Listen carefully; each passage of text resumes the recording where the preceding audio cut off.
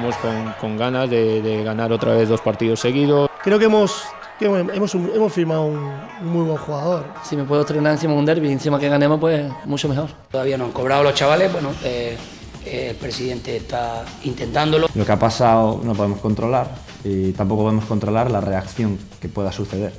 Entonces debemos centrarnos en nuestro trabajo. ¿Qué tal? ¿Cómo están? Muy buenas noches y bienvenidos a Popular Deportivo.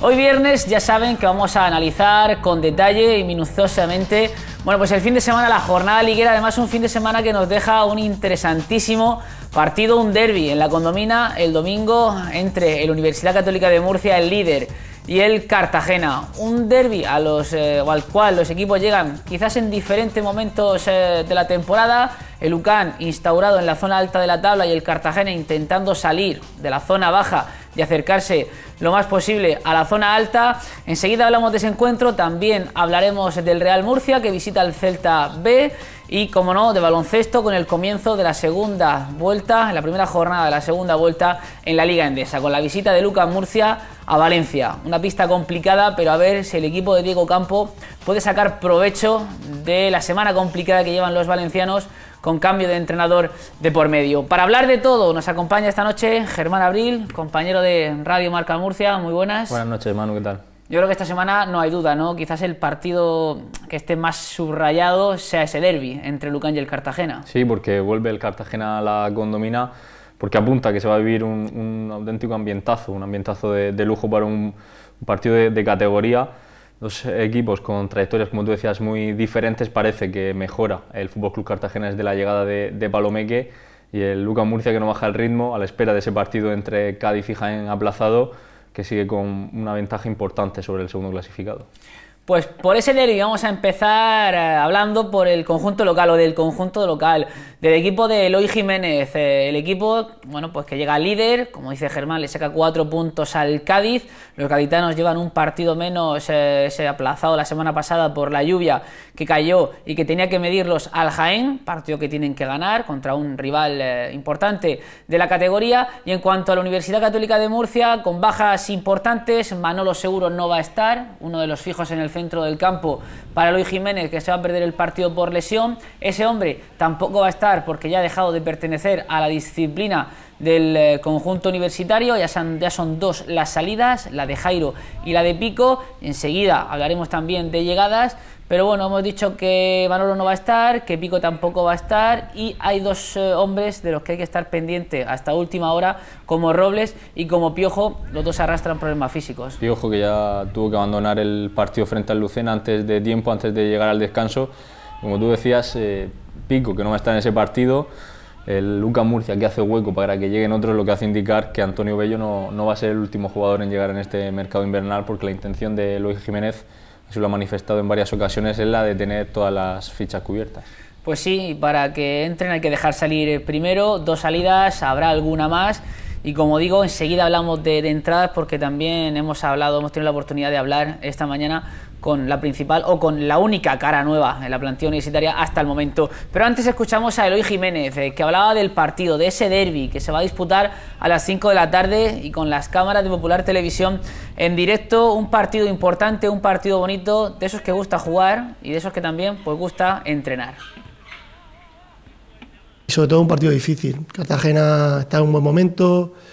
Eh, a, nivel, a nivel deportivo está el equipo mejor, eh, se le ve más tranquilo, se le ve con, mucha más confianza y bueno, y se le ve un equipo que ahora sí es más, más compacto, que, se nota que, está trabajando muy, muy bien y va a ser un partido difícil, evidentemente, y un equipo que por todo lo que problemas que ha tenido, pues bueno, no ha podido a lo mejor eh, obtener los resultados que, de ellos se esperaba, pero que seguramente por el potencial de la plantilla, pues de los que en teoría tendría que estar arriba, ¿no? Y no sabemos qué Cartagena nos vamos a encontrar, eh, qué rival el blanquinero, porque tiene, tiene bajas. Ahora cuando hablemos del, conjunto de Cartagena analizamos las bajas, pero no sé en cuanto al, Cartagena que esperamos ver el, domingo, Cartagena que vaya por el partido, que aguante, que salga a especular. Lo que está claro es que va a ser un Cartagena mejorado, lo ha demostrado Palomeque en el poco tiempo que lleva en el Cartagena. Es un equipo que que ha ganado riqueza táctica, sobre todo antes no sabía muy bien a qué jugaba, cuál, era, cuál iba a ser su, su patrón. Supongo que la desorientación de, de saber... De no tener, un de, no, tener claro, un, un, patrón fijo, de saber que un, en unos entrenamientos te manda uno, de que después el entrenador está en la grada gritándote, hay otro, otra persona que es la que también apoyará dentro del vestuario, que también te indica cosas. Yo creo que esa desorientación ha desaparecido, la ha erradicado por completo la llegada de Manuel Palomeque de momento los resultados del Cartagena de su llegada son buenos. Yo también me quedo con las buenas sensaciones que, ha mostrado el equipo desde que llegó él. Bueno, pues eh, un Cartagena que Eloy Jiménez espera que salga por los tres puntos, como no podría ser de otra manera. Más aún teniendo en cuenta o analizando que el equipo blanquinegro está yendo de menos a más durante las últimas semanas. Espero un Cartagena muy sólido, un Cartagena que, los últimos partidos pues defienden muy bien. Y, bueno, y sobre todo, pues lo que suelen hacer explotar muy bien la, velocidad que puedan tener con Gato, con, con Carlos Martínez, que seguramente si, si no está, pues podrá jugar, o mi jugador de banda que, tienen, que tienen calidad de desborde. Y, y, bueno, y un partido donde, donde ellos van a venir con una motivación importante para intentar sacar algo positivo aquí. Pues como anunciábamos antes, esta mañana ya ha trabajado con el resto del grupo. La el primer refuerzo en el mercado invernal, la primera cara nueva, se trata de Antonio Bello, le estamos viendo hablar con, con Eloy Jiménez y bueno, tiene pinta Germán que va a ser el primero de, iba a decir de muchos, pero bueno, por lo menos el primero de dos o tres que van a, van a aterrizar. De momento de dos, eh, ya sabemos lo de la marcha de, de Pico, esa rescisión de, de su contrato. Llegada de Antonio Bello, jugador de banda, es eh, raro porque los dos jugadores que se, han, marchado, tanto Pico como, como, el propio Jairo, son jugadores de, centro del campo, pero bueno, busca darle, yo creo, sobre todo minutos de descanso, tanto a, a Chavero como a Nono en banda, dos jugadores muy castigados, eh, con mucha fatiga en las piernas en esto, esta primera vuelta de, temporada, jugador que esperemos que le, dé minutos de calidad a, a esa segunda línea de Luca Murcia. Y un jugador sobre el que hablaba el que ya es su entrenador, ya es Eloy Jiménez. Y esto es lo que decía sobre el ex del Alcoyano. Creo que hemos, hemos, hemos firmado un, muy buen jugador, un jugador que, que, nos va a dar eh, muchas posibilidades, sobre todo en el juego combinativo, porque es un jugador que, que tiene mucha capacidad de asociación, que, aparte también pues, tiene desborde, habilidoso y un jugador que tiene, que tiene mucha experiencia y lleva mucho tiempo en la categoría y bueno, y creo que ese ha sido un acierto ¿no? el, el, fichaje de Bello. Viene de competir, que es lo que más importa en este tipo de, de, de mercado de invierno, que muchas veces pues, se firma por las posibilidades de los equipos o de los jugadores vienen algunos sin, sin, tener minutos porque cambian de equipo cuando no juegan, pero bueno, hemos tenido la suerte de traer un jugador que viene de jugar habitualmente y eso para nosotros pues, bueno, es muy importante porque está para competir ya. Pues eh, un jugador que como dice Luis Jiménez está para competir ya, seguro que va a entrar en, la convocatoria para el partido frente al Cartagena. Incluso decía Luis Jiménez que si lo necesita no va a dudar en ponerlo en el once inicial. Y que viene avalado también por Pedro Luis Reverte, que es ese, ese mago de la segunda división B, una de, las personas que mejor conoce la, categoría y que si lo ha fichado será por algo. No está contando con muchos minutos en su etapa en el Alcoyano, 29 años. Jugador de banda, veremos lo que le puede aportar, pero yo de, como del caserío de Pedro, de Pedro Reverte me fío yo creo que si viene avalado por él va a dar un, salto de calidad a Lucas a Murcia. Pues también teníamos la oportunidad de, hablar con él y de preguntarle bueno, cómo está sobre todo físicamente de cara a empezar a contar desde ya en los planes de Eloy Jiménez. Pues la verdad que contento porque he pasado semana y media, dos semanas muy, muy estresantes, digamos, porque entre que dije que, me quería ir allí y que hemos estado negociando, un tiro de afloja y, y bueno, por fin he podido pudimos negociar, pudimos llegar a un acuerdo y, tenía muchas ganas de venir. Y la verdad que, que, todo el mundo que me ha hablado aquí me ha hablado maravilla. Y entonces, pues, deseando empezar y deseando, deseando jugar el domingo, si puede ser. He estado entrenando, he estado, he estado jugando, menos el fin de semana pasado, porque ya, ya dije que me quería marchar y que me quería venir aquí. Y, y bueno, la verdad que físicamente me encuentro bien, así que lo que quiero el míster, pues ahí estaré. Y qué mejor oportunidad, Germán, que debutar con la camiseta del, de Lucán en el partido del domingo, en un derby contra el Cartagena, en la condomina y con el ambiente que esperamos que se va a vivir allí. Sí, un partido importante para, para esa apuesta de largo de, de, Antonio Bello. Vamos a ver qué detalles eh, nos deja el jugador, jugador de, de, de, banda, rápido, lo que hemos visto, jugador muy liviano, Hábil también, con las dos piernas le da. combinativo, como decía Eloy. Eloy Jiménez, un jugador muy, muy completo, muy en la línea de lo que es Nono, de lo que es Chavero, jugadores que además de ser rápidos, de aportar de mucha profundidad en banda, también se, se asocian bien un juego que es el que le gusta eh, utilizar a, a Eloy Jiménez, que es lo que nos ha enseñado en, este, en esta primera vuelta de, de temporada. Yo creo que casa muy bien con el, con el perfil de jugador que busca Eloy Jiménez. Pues eh, Antonio Bello, que también nos comentaba que ha tenido más ofertas encima de la mesa, pero bueno, no ha dudado en ningún momento en decantarse por la más interesante o por la más jugosa para él, como era la oferta que le había puesto encima de la mesa Pedro Reverte para firmar por la Universidad Católica de Murcia Club de Fútbol. Yo la primera vez que hablo con, con Pedro Reverte fue antes de, de Navidad. Y eh, la verdad que en el primer momento pues no me planteé siquiera salir al COI. Yo tenía, tenía otro año más firmado allí. Llevaba un año, el año pasado estuve y estuve muy a gusto. Pero bueno, empezamos a, hablar con, empezamos a mantener conversaciones y demás. Y conforme iba avanzando, pues más ganas tenía de salir de allí porque la verdad que, que no estaba del todo a gusto y, y por lo bien que me habían hablado aquí, ¿no? Entonces, pues sí que tenía más ofertas. Me llamaron, pero ya, ya yo hablaba con Pedro, yo le había dado la palabra y entonces decidí venir para acá y ya está. Al reforzar la plantilla el Lucas Murcia para la segunda vuelta, también se deduce un poco, Germán, se puede leer entre líneas que ya va mirando hacia arriba, ¿no? que ya el objetivo primero de la temporada, la permanencia, no está conseguido, no son esos 47 puntos eh, en los que la cifraba Eloy Jiménez, pero son 41 tenía que darse una catástrofe, un caos para que perdiesen la categoría. Por lo tanto, hay que pasar ya a- al segundo objetivo de este año. Le quedan 17 partidos para conseguir esos 6 puntos, yo creo que, que le da de sobra. Y por el discurso de Eloy Jiménez, de Pedro Reverte, de jugadores con los que, con los que hemos podido hablar, la sensación es que ya dentro del vestuario se empieza a pensar en cotas más altas. Eh, Les ha costado porque han estado Sí, sí. muchísimas jornadas y desde la primera pensando en esa cifra de los 47 puntos. Pero yo creo que ya hay que ser sensatos, tener la- los pies en el suelo, no, no tener pájaros en la cabeza y seguir vendi- vendiendo esa moto de que el equipo estaba para, para pelear por, el, por mantener la categoría, que sí que es verdad que es un equipo recién ascendido, pero lo que demuestra es que la ambición es yo creo que ahora mismo la nota predominante en el vestuario. Pues eh, Antonio Bello, a pesar de llevar nada, apenas unas horas en Murcia y unas horas en el vestuario de la Universidad Católica, tiene ese discurso muy bien aprendido, eso sí, siempre mirando de reojo a la zona del playoff. El primer año que yo estuve en, la balompédica linense nos pasó algo similar. El equipo ascendió de tercera a segunda vez. Fue un, un equipo que teníamos un equipo humilde, que, que el objetivo era la permanencia y conforme conseguimos la permanencia, el club se marcó un objetivo un poco más ambicioso, que fue intentar entrar en playoff. Cuando entramos, pues intentar quedar campeón. Al final pudimos quedar segundo, que fue, que fue un logro y, con esa idea vengo. Primero lograr la permanencia y una vez que, que se logre, pues el objetivo que se marque el club intenta conseguirlo.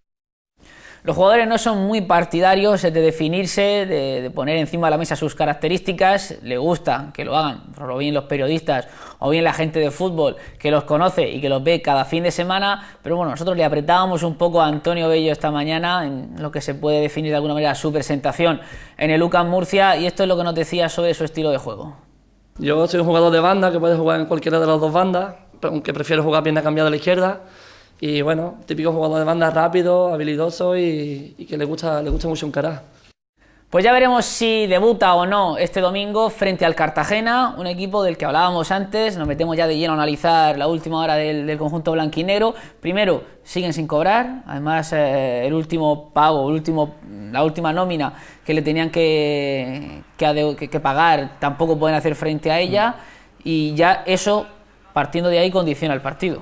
Sí, sí O, o son malas noticias para, para, para afrontar el partido, mejor dicho. sí que es verdad que el futbolista siempre trata de, de evadirse de ese tipo de situaciones, especialmente en, en el partido. Durante el fin de semana es complicado mantener la, la concentración, lo que estamos viendo en los entrenamientos cuando sabes que, que el club todavía te debe dinero, que es gente que tiene familia, que tiene casas, que tiene muchas cosas que pagar. Sí, que a día de hoy los sueldos de, de la segunda B no son los que eran hace unos años que a lo mejor podías ir tirando de ahorros. Ahora mismo estamos hablando que a lo mejor, eh, o gran parte de la plantilla del, del Cartagena puede estar en torno a los 1.000 euros, eh, 1.500 euros de ficha. Quizá haya jugadores que sí que hayan disfrutado de esa época, por decirlo así, de vacas gordas, como puede ser el caso de Jorge Lucas, que veíamos Sí, anteriormente en Tarantino. pantalla, el propio Ceballos, pero hay otros jugadores jóvenes que supongo que, que entrarían en este proyecto de lleno con mucha ilusión, que apostarían y que se han encontrado con, este, con estos problemas en, los pagos.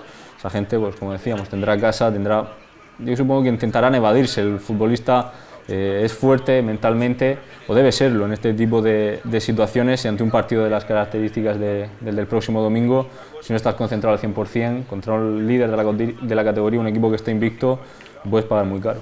Y por ahí quizás se le puede pedir o, demandar poco a la, a la plantilla del, del, Cartagena porque ha demostrado, sobre todo en las últimas semanas, que es cuando más problemas económicos o esos problemas económicos han salido a la luz, que sigue siendo un grupo, una plantilla, un grupo de jugadores profesional, de ahí yo creo que ha coincidido que salga a la luz los problemas económicos con el mejor momento de la temporada, con la llegada también de Palomeque.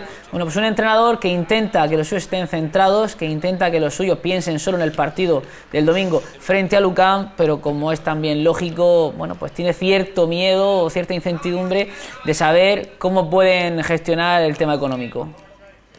Todavía no han cobrado los chavales, bueno, eh, el presidente está intentándolo con su con, el jefe del club y bueno, estamos en contacto con ellos, sobre todo Luque, que es el capitán, incluso yo ayer hablé con, Javier y tenemos esperanza de que antes del domingo puedan cobrar los chavales. Sería ideal, sería ideal porque, porque repito una y mil veces, ellos, eh, ellos me refiero a los jugadores, se están portando pues como auténticos profesionales, no fallamos día a entrenar, es una predisposición, una actitud eh, espectacular. Y el equipo de ese hombre, de Manuel Palomeque, que va a estar arropado por, en las gradas por, no sé si en torno a, medio millar de, aficionados del, Cartagena, que no sé si incentivados o motivados de ese partido que se dio la semana pasada en el Cartagonova, de esa victoria por 3-0 frente a la Granada B, bueno, van a coger el coche y se van a venir hasta la condomina. Se juntan muchos factores, como tú decías, el buen juego que yo creo que ha vuelto a enganchar a la, afición albinegra, el hecho de volver a un estadio mítico como el de la Condomina, enfrentarse no al Real Murcia en este caso, pero sí a Lucan, es un derby, el derby de, la segunda división B con permiso del que jueguen contra la olla de Lorca. Yo creo que se da todo, todos los factores para que sea un, un gran partido. El equipo, como decíamos, está volviendo a enganchar una plantilla que mirando nombre por nombre debería estar peleando por cotas bastante más altas la, temporada lo que a lo deportivo se refiere ha empezado ahora, hace bien poquito, desde la llegada de Manuel Palomé, que yo creo que significa un punto de, inflexión en la temporada del Fútbol Club Cartagena esta temporada. Yo creo que todos los factores eh, posibles, habidos y por haber, se dan para que la afición se, enganche. Yo creo que puede que, incluso más de esos medio millar de, de personas. Eso es lo que, lo que estima el club por un lado yo creo que vendrá más gente por, por, otro lado, esperemos que no haya conflicto en la grada si entran... Esperemos y deseamos que no haya conflictos en la grada, que cada uno o cada afición apoye y se, y se muestre incondicional con su equipo, pero siempre con tranquilidad, con respeto hacia la afición rival. Manuel Palomeque, que valoraba esa, ese pequeño desembarco que va a haber de aficionados del Cartagena el domingo a las 5 de la tarde en la condomina. Tenemos que dar a la afición para recibir. Eh, eh, verdaderamente el domingo el equipo estuvo fenomenal, conseguimos los tres puntos, la gente se enganchó, salió con un muy buen sabor de boca del estadio y eso a la plantilla y a nosotros nos, satisface mucho porque es verdad que toda la semana están con ilusión, por lo que se puede escuchar, para ir a Murcia. ¿no? Entonces, nosotros vamos a trabajar, lo que sí le puedo mandar eh, un mensaje de aquí es que vamos a seguir trabajando como el domingo pasado, podrán salir las cosas mejor o peor, pero esa actitud, esa entrega y esa honradez de los jugadores el domingo la van a ver en la, lo van a ver en la condomina. Y veremos qué once pone sobre el terreno de juego Manuel Palomeque, porque hay que recordar que tiene muchas bajas importantes. No cuenta con los dos delanteros de la plantilla, por lo menos con los dos delanteros naturales. Payarés, que está lesionado, que esta semana ha empezado ya a hacer algo de trabajo. Rivas, que ya sabemos que tiene la mandíbula rota y va a estar mínimo dos semanas fuera. También tiene la ausencia de Neira en el centro de la defensa. Tiene a Miguel lesionado, Prosi también entre algodones. Son jugadores importantes todos los que acabamos de decir. Lo más preocupante quizá el apartado ofensivo. Un equipo que, no, que promedia poco más de un, gol por partido frente a la mejor defensa seguramente del fútbol español ahora mismo, la de Lucas Murcia, que tan solo ha recibido 11 goles en 21 partidos. Eh, si llegas a ese encuentro con tus dos mejores delanteros fuera de juego, preocupante, pero se va a centrar, se va a focalizar todo, toda la atención en la participación de, de, de Chusevia. sí, jugador que ha participado en banda izquierda con, con Julio César Rivas y con, con Simón Ruiz yo creo que su posición clave, él mismo lo ha reconocido, es jugando por, por dentro en esa posición de, de falso 9. Le puede dar mucho al Cartagena, pero con las bajas de, de tanto de Rivas como de Payarés, yo creo que baja bastantes peldaños el Cartagena en ataque. Sí, quizás lo más peligroso del Cartagena, viendo el, o de cara al partido del domingo, esté en la calidad que tiene Chusevia, jugando entre líneas, y luego la banda derecha, que con Gato de Góngora lo va a tener complicado si juega Góngora en el lateral izquierdo. Góngora que ha sido padre recientemente. Eh, sí, Gato, un jugador, yo creo que seguramente el más regular de esta temporada con el Cartagena, en los momentos en los que peor ha estado el eh, cuadro albinegro ha aparecido, su velocidad a la espalda de la, de la defensa es vital, es fundamental para, para, el esquema del Cartagena. Y también Jorge Luque, jugador que desde la llegada, de, desde, la, sí, desde la llegada aparte de, de, Palomeque, yo creo que ha cogido como los galones que, que requiere un, un, jugador de su categoría, que tiene muchísima experiencia tanto en segunda como, como en segunda vez. Se empieza a ver al, al, auténtico Jorge Luque, al que yo creo que esperaban desde el principio de, de temporada. Y, y contando con esas bajas que decíamos en ataque, quizás sean los, los jugadores clave para, para, poder meterle mano al Lucan de Murcia. El Lugan que está líder, el Cartagena decimosegundo, si miramos la tabla pues podemos pensar en un choque desigual, pero ya sabemos que en estos partidos, en estos derbis de máxima rivalidad, todo se iguala y a Palomé que le preguntaban si firmaba el empate el domingo en la condomina. Un punto sería bueno. Cuando acabe el partido, Pedro, te lo podría decir. Ahora yo no quiero un punto realmente nosotros vamos a, tra a, trabajar y hemos trabajado durante toda la semana para conseguir los tres puntos. Cuando termine el partido, pues igual empatamos y decimos fenomenal, o igual empatamos y decimos pues no, no, no, no, no ha sido bueno, ¿no? Pero en principio nosotros queremos ganar los tres puntos. Pues a por los tres puntos van a salir dos equipos que quizás tengan las trayectorias cambiadas, ¿no, Germán? El Cartagena, que aspiraba a todo, está sí. abajo, se puede decir abajo, por lo menos en, con la idea que tenía de temporada. Y el Ucán, que a lo mejor salía con la idea de mantenerse, de no pasar apuros, de pasar una temporada tranquila, está en lo más alto de la tabla. Sí, quizá, sí, como tú decías, dos equipos que tenían objetivos bien diferentes a principio de temporada se han encontrado se encuentran en posiciones eh, que el, yo creo no esperaban a principio de temporada, pero si miramos la regularidad, el Lucan ha sido regular en su, en su pelea por, por esa primera posición y el Cartagena incluso ha sido regular, pero en esa, sí, ha hecho mérito, en, en, esa, para estar en, en esa línea para no ganar partidos y si empatar muchos, se empatan muchísimos partidos. ¿Qué más? El Cartagena también ha empatado muchos. El, el Lucan de. El segundo de que más. Murcia, 11 sí. empates lleva Lucan y 13 lleva el Cartagena. Los equipos que empatan mucho, pero claro, si los empates, que son casi todos fuera de casa de, de Lucan, los haces buenos en, en, tu campo ganando esos tres puntos, eso que llaman la, la, media inglesa, pues te deja como primer clasificado. En caso de, del Cartagena, si empatas y además le, le añades... Y en casa sigues, sigues empatando, le, le sigues empatando y, y perdiendo, te cuesta tanto ganar los partidos, pues te encuentras con el Cartagena duodécimo, que yo creo que hay un cambio radical y yo creo que con la forma que tiene ahora mismo el Cartagena de jugar seguramente se convierta en un equipo más competitivo, seguramente varíe esa, esas sensaciones, ese, ese, juego y sobre todo el resultado de, del Cartagena de aquí a final de temporada. Y un Cartagena que va a ser otro de los equipos que va a intentar ganar en la condomina y bueno, pues hacer doblegar o hacer que el UCAN doble la rodilla por primera vez esta temporada. Ya saben que es el único equipo a nivel nacional que todavía no conoce la derrota en primera, segunda división y segunda división B. Y un equipo al que conoce bien Manuel Palomeque. Dificultad, pues que es un gran equipo, lógicamente, si van primero no es por casualidad, eh, llevan una eh, temporada espectacular y bueno, pues tiene, tiene muchísimas cosas buenas donde hemos trabajado en ellas durante la semana y a otras no tan buenas que trataremos de, aprovecharlas para, para, ganar los tres puntos, ¿no? Pero eh, la clasificación y la trayectoria que lleva la UCAN lo dice todo, ¿no? Ha hecho un trabajo fenomenal, su entrenador, su cuerpo técnico, eh, bueno, pues han confeccionado una muy buena plantilla y es un equipo muy bien trabajado.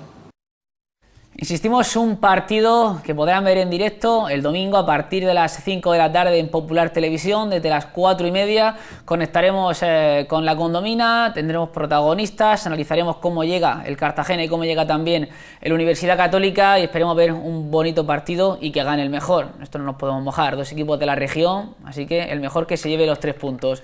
Dejamos eh, el derby y hablamos eh, del otro encuentro que tiene de por medio a un equipo de la región en el grupo cuarto es la olla Lorca contra el Lucena. El domingo por la mañana en el Artés Carrasco, un duelo de necesitados. Yo creo que la definición es esa. La olla penúltimo y el Lucena eh, último. Y la olla eh, penúltimo, he dicho bien. Separados por un punto. De 20 puntos tiene la olla y 19 tiene el Lucena. Un Lucena que baja bastante su rendimiento cuando juega fuera de casa y la olla Lorca que tiene que empezar a hacerse fuerte en casa, en el Artés Carrasco. Para mí es un expediente X la olla Lorca porque viendo jugadores, especialmente los que tienen en ataque, me cuesta creer que esté tan, tan abajo. No se nota, no se termina de notar el, trabajo de, de José Miguel Campos y yo creo que sobre todo le falta la confianza de encadenar dos victorias consecutivas, es lo que, hace, lo que le hace falta. Porque sí es verdad que ha dado muy buenas sensaciones ese partido en Pinatar Arena en el que goleó 6-1, el partido incluso en, la condomina, contra, Lucán, pero yo creo que es ese partido el que mejor le define porque es un equipo capaz de plantarle cara al, a Lucán Murcia, al líder, de la, al líder de la categoría, pero termina perdiendo por una tontería, por un despiste en los últimos minutos eh, el partido. Yo creo que eso es eh, un resumen de lo que le está pasando al conjunto de José Miguel Campos en esta temporada, que en ataque eh, suma muchos efectivos, que es un equipo muy potente, que llega con muchos jugadores y de mucho nivel como Hugo Rodríguez, José Lu, Pau Franch, Higinio, jugadores de muchísimo nivel para la categoría, pero que después en defensa quizás están excesivamente blandos. Y le está pasando factura esta temporada y nos lo encontramos en la penúltima posición. Pues sí, además la olla viene de, perder 3-2 frente al, Linense, el Lucena por su parte viene de empatar a cero recibiendo al, al líder, a Lucana, la semana pasada ahí en Córdoba. Y bueno, pues mirándolo por el lado positivo, buscándole algo positivo a ese partido, que si la olla gana y se dan una serie de resultados, podría incluso salir de los puestos de descenso. O sea que dentro de la mala temporada en cuanto a resultados, el juego, yo creo que está siendo mejor el juego que los resultados que está teniendo el equipo de Campos. Si ganan, se meterían con 23 puntos, ya te digo, podrían, podrían salir empatando por ejemplo, pasando al Sevilla Atlético, a, a la Roda y alcanzando casi el arroyo. es la gran suerte que tiene, que la, muy eh, igualada. La clasificación sí está muy, muy igualada, pero yo creo que, que no puedes confiarte. No, cuanto ah, antes salga mejor. Estamos en la jornada 21, no puedes confiar eternamente a que la, la, clasificación siga así de apretada para salir en cualquier momento. Yo creo es clave que encadene dos victorias consecutivas porque le va a llenar de moral. Yo creo que se va a confiar en el buen trabajo que, que está haciendo, se va a empezar a, a, plasmar todo lo bien que lo está trabajando José Miguel Campos. Sobre todo lo que más me preocupa es que se empieza a dudar dentro de, del club el trabajo de José Miguel Campos, que se ha encontrado con un panorama muy, muy complicado. La temporada pasada firmó un auténtico campañón. Muchos jugadores, tan solo se ha quedado un jugador, mm, se mantienen de la temporada pasada. Es muy complicado trabajar en esa situación. Aún así lo ha conseguido, ha juntado jugadores de muchísimo nivel, solo falta que, lleguen los resultados. Sí, que los resultados hagan justicia con el juego que está desarrollando la Olla Lorca en muchos de los partidos de esta temporada. Acabamos con el grupo cuarto, hacemos una pausa y volvemos enseguida para hablar del Real Murcia y de su visita al Celta B y, como no, también para hablar de la Liga Endesa y de fútbol sala.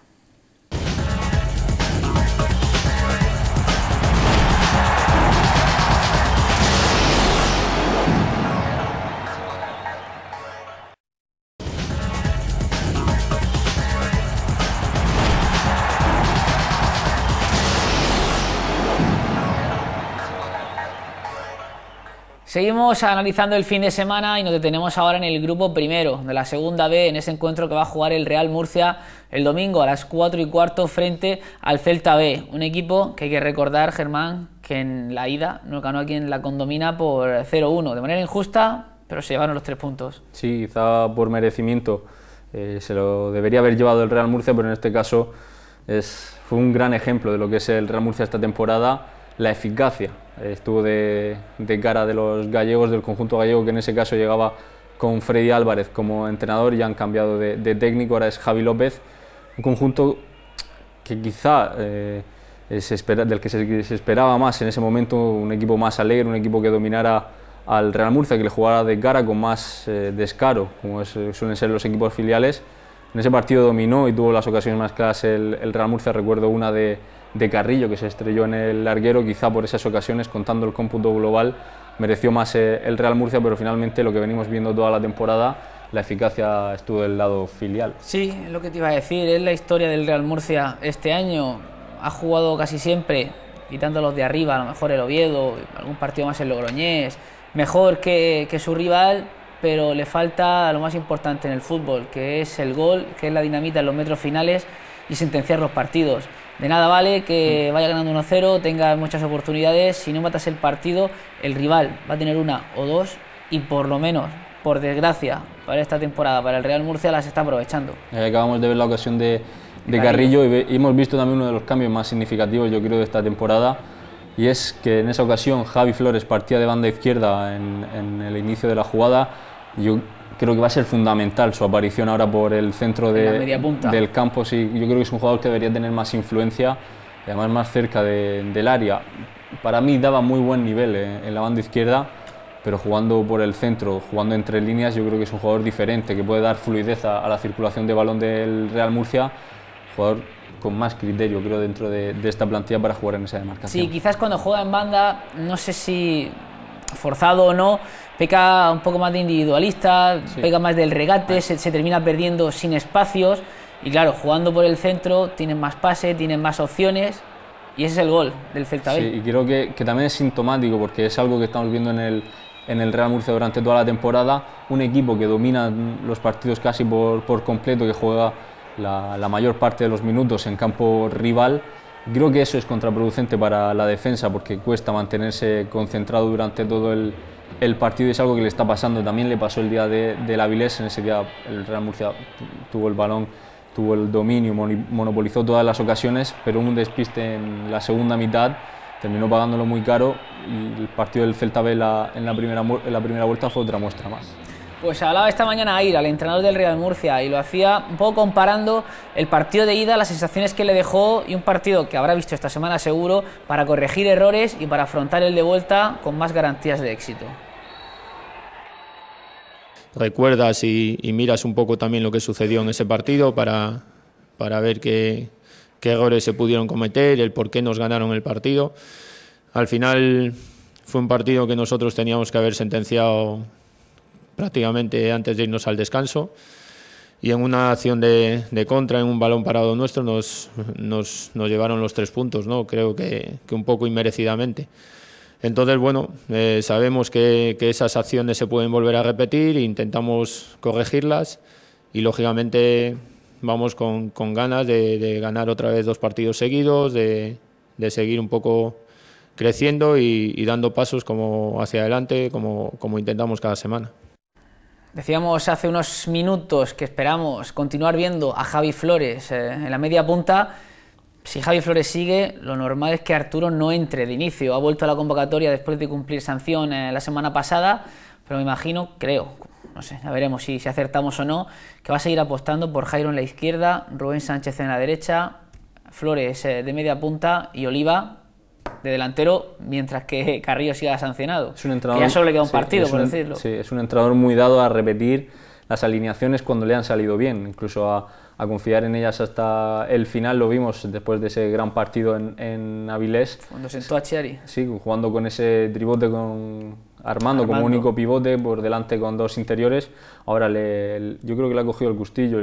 Y es normal, porque yo creo que es algo que, que, pedíamos. Siempre se ha dicho que cuando las cosas salen bien no hay que tocarlas. Es algo que pedíamos todos, que Javi Flores tuviera más influencia en el, en la circulación de balón del Real Murcia, que apareciera más por zonas interiores, que daba un gran nivel en la banda izquierda, pero yo creo que, es un gran, uno de los grandes problemas y uno de los grandes, yo creo, de las quejas que, deberíamos ponerle a este, a este Real Murcia en el principio de temporada es que jugara con dos interiores a, banda, a pierna cambiada, en esta ocasión con Jairo por izquierda, con Javi Flores por la, derecha, por la izquierda, perdón, en muchos, muchos partidos, porque al Viol le ha costado entrar después de, de esa lesión. Cuando tú juegas con un delantero referencia, un delantero 9, como es en este caso eh, Gerard Oliva o José Ángel Carrillo, lo normal es que utilices a un diestro en una banda derecha y a un zurdo en una banda izquierda para aprovechar los centros al área. Si tú juegas con dos jugadores a pierna cambiada y con un delantero que no es muy rápido, que no tiene mucha movilidad eh, a la espalda, a, los espacios, lo que puedes encontrarte es eh, con muy pocas ocasiones a, tu favor. Yo creo que eso es lo que le ha pasado al Real Murcia. Se terminaba encontrando con un muro siempre en la defensa, pero un muro que yo creo que generaba el, propio Real Murcia. Hablaba de Albiol, es el que se queda fuera esta semana por sanción, además también está arrastrando problemas físicos.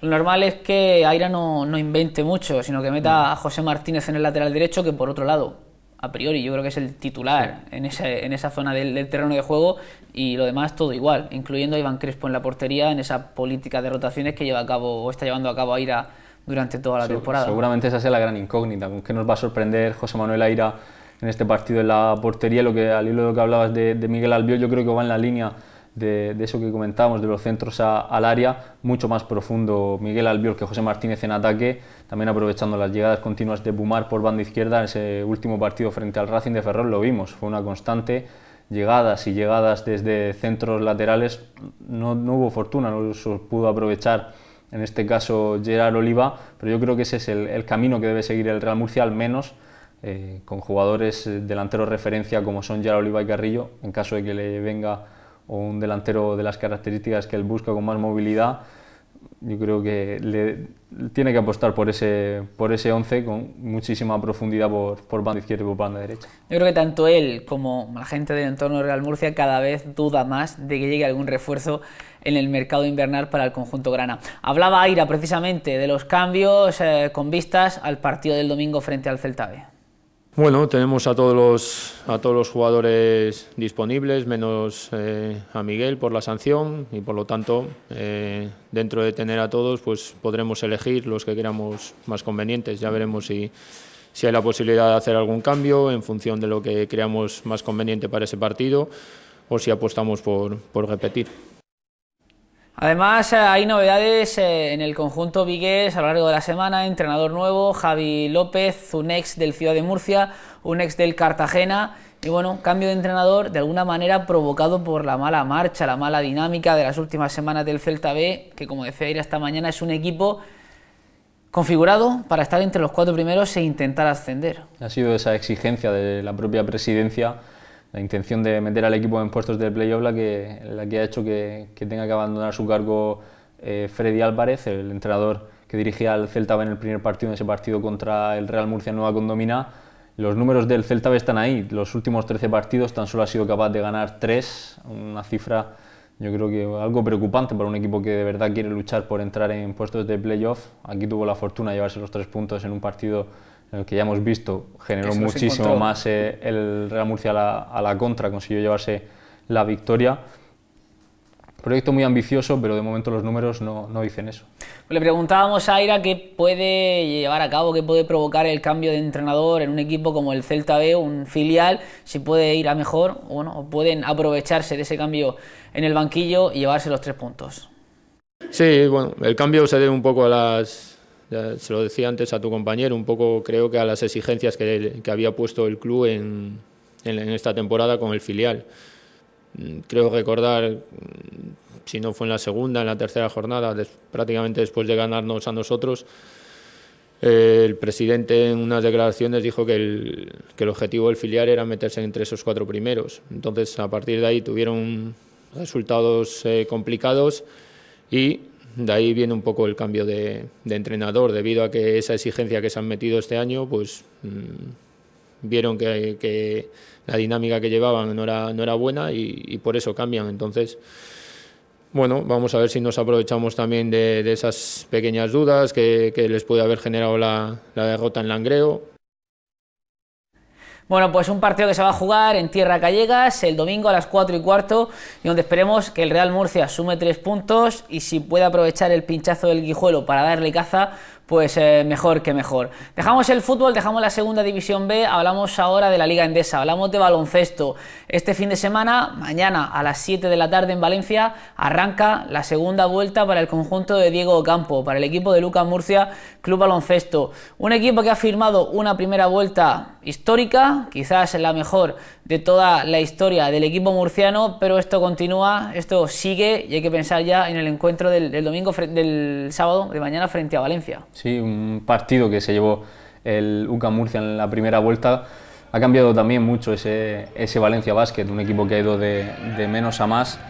También aprovechar, yo creo que es, eh, yo creo que debe ser clave que aproveche el, el UCAN eh, para pescar en Río Revuelto esa marcha, esa destitución de Belimir Perasovic tras los malos resultados en los últimos partidos, tanto en, en Liga como en Eurocup. Petición europea, sí. Sí, eh, yo creo que hablaba Ocampo de que eso va a, permitir a los jugadores, van a ser los jugadores de, Valencia más intensos, van a buscar reivindicarse ante la marcha del que era su entrenador, pero yo creo que, que es un buen momento para que UCAN llegue y aproveche esa mala situación esa mala marcha del conjunto de Taronja. Pues precisamente a ese hombre, a Diego Campo, al entrenador gallego, le preguntaban cómo puede afectar a Valencia la salida de un entrenador como Perasovic y que se haga cargo del equipo su segundo.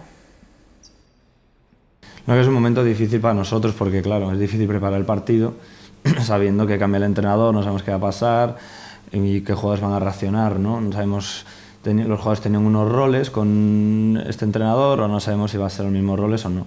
Pero bueno, independientemente de la dificultad táctica eh, que tenga el partido, porque un poco no sabe si van a mantener o no, podremos pensar que no, pero no sabemos lo que va a suceder, creo que debemos centrarnos en nosotros, que es lo más importante. Lo que ha pasado no podemos controlar y tampoco podemos controlar la reacción que pueda suceder. Entonces debemos centrarnos en nuestro trabajo. Bueno, yo creo que van a cambiar actitudes. No sé lo que va a pasar. Por eso decía lo de las actitudes, porque normalmente sabéis que cuando cambian al entrenador, el equipo reacciona. Entonces, a ver qué hacen los jugadores, cómo reaccionan. No, no lo sé cómo van a reaccionar. Yo creo que más que sus nervios van a querer eh, reclamarse, ¿no? muchos de ellos, dar un paso adelante. Y eso no sabes cómo sale, ¿no? porque tienen muchas ganas eh, y no has trabajado antes, nunca sabes cómo va a suceder. Lo que sí es verdad es que todo hace que sea un partido de muchísima dificultad y que nosotros vamos a tener que jugar a tope, pero a tope, a tope y a tope. Pues a tope, por si no le ha quedado claro, tienen que afrontar eh, los jugadores de Lucas Murcia ese eh, partido frente a Valencia. Y no sabemos si va a estar a tope uno de ellos, Augusto Lima, el MVP del conjunto universitario, que ha arrastrado problemas, ya no solo esta semana, sino durante las últimas eh, tres semanas. Parece que esta ya va saliendo de esos problemas, ha conseguido completar los entrenamientos durante las últimas dos, eh, tres jornadas, pero bueno, un jugador que si no está al 100% se le nota, porque como dice su entrenador, es todo corazón. Yo creo que eso forma parte de lo que es un equipo profesional y no hay ningún equipo que no tenga lesionados. Entonces ha afectado, difícil de valorar el porcentaje pero yo creo que no me gusta llorar ni decir. Eh, la verdad es que hemos tenido siempre jugadores disponibles, tenemos jugadores de nuestro equipo filial que nos ayudan, nuestro equipo junior para entrenar y estoy encantado con los jugadores que tenemos y mm, no querría entrar en si este son excusas para mí baratas y no, no, no, no son excusas. Eh, si hemos, ha faltado un jugador, hemos trabajado con otros y no, no quiero buscar excusas. No quiere buscar excusas Diego Campos sobre el estado físico de su plantilla, pero es cierto, yo creo que el otro día se notó frente a Iberostar Tenerife que era como que, Lima tenía solo una pila. Necesita dos y tenía solo una, no se le veía con la rabia, con la intensidad, con, con la potencia que él tiene. También lo vimos, creo que fue en el partido contra Juventud, en el que jugó infiltrado después de estar toda la semana sin poder entrenar sin poder tocar el, balón y se nota, porque es un jugador muy físico que, depende muchísimo de, la velocidad de sus piernas, del físico de sus piernas.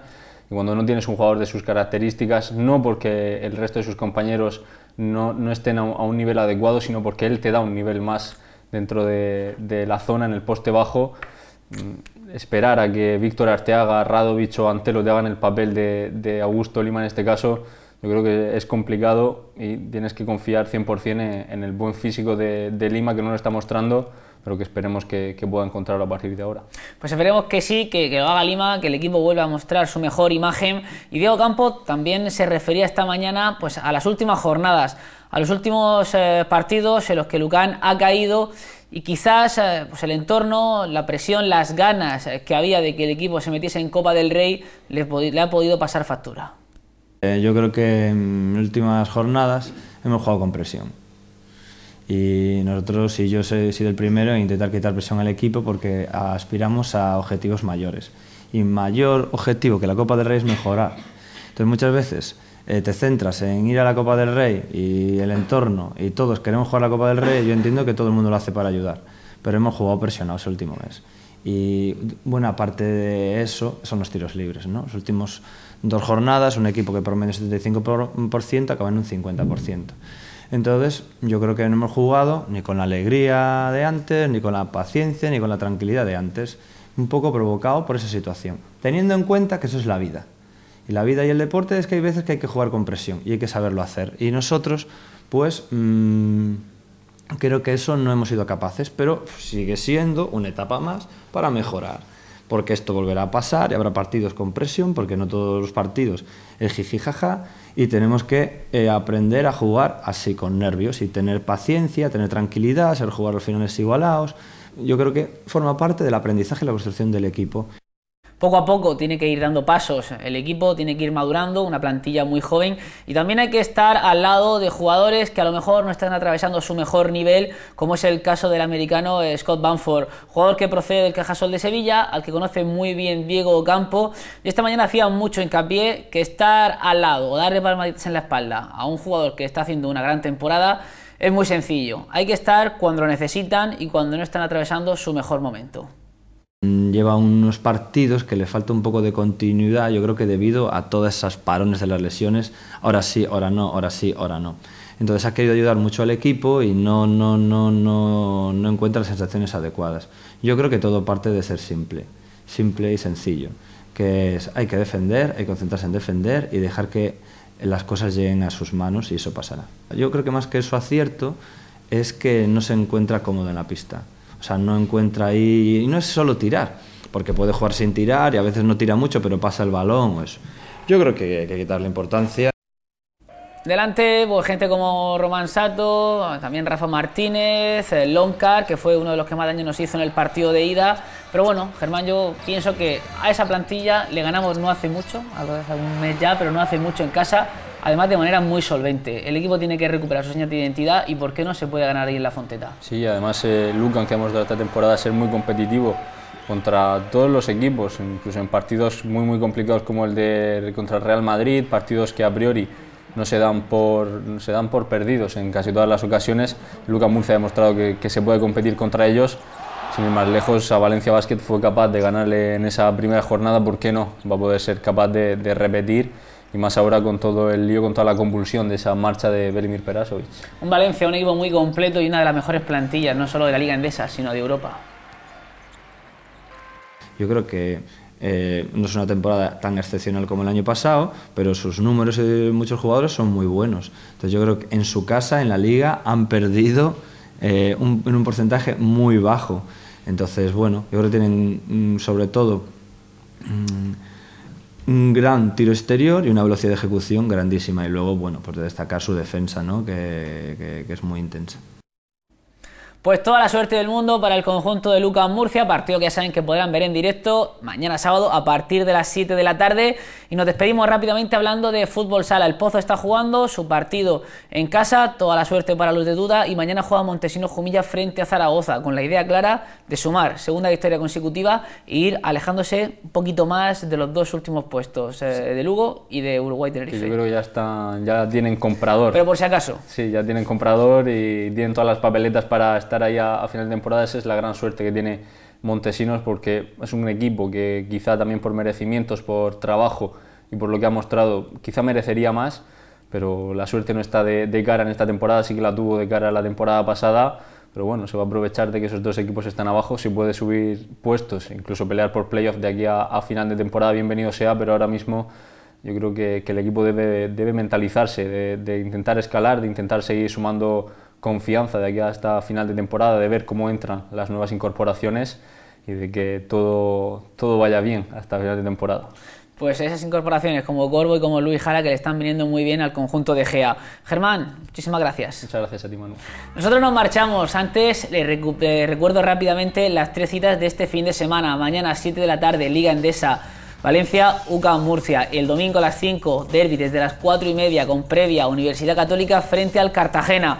Y como no, a partir de las 10 y media el resumen de todo, de fútbol, baloncesto, fútbol sala, de todo el deporte regional. Así que pasen un buen fin de semana y nosotros les dejamos ahora con Paloma y UCAN TV. Adiós.